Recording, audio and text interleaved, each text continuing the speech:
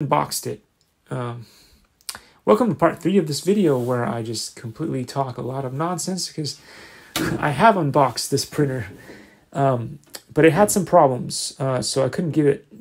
I would have given him this one, but the screen has to be uh, changed out, and I haven't actually fully tested this machine, so I didn't want to give him this not fully operational machine to uh, learn to do stuff on because it's not auto leveled and all that stuff a lot of work needs to be put into that machine. So, but I just didn't have the space to work on that one. So now that this one's going to Russell, um, I can put that red one over here and we can do some testing on that printer.